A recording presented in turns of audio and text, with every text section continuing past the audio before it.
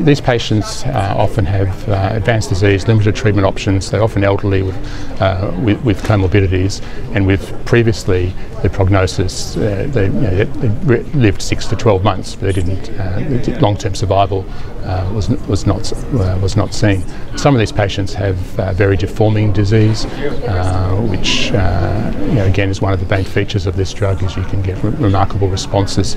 and some of the patients were we treated would have would have estimated may have only lived for a few months and are back to living uh, normal lives. Some of the patients are nearly at two years now. So they're quite remarkable compared to you know, what, what the options were previously.